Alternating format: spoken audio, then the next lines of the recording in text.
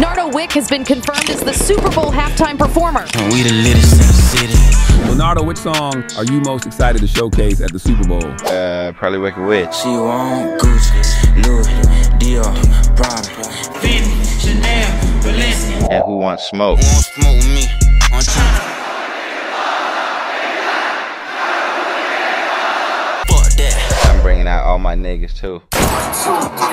Fuck the ops, them niggas hoes. Niggas die for pumping gas. 13, 14, 15, 16, hollow tips, they hit his face. Shit's gonna be a movie.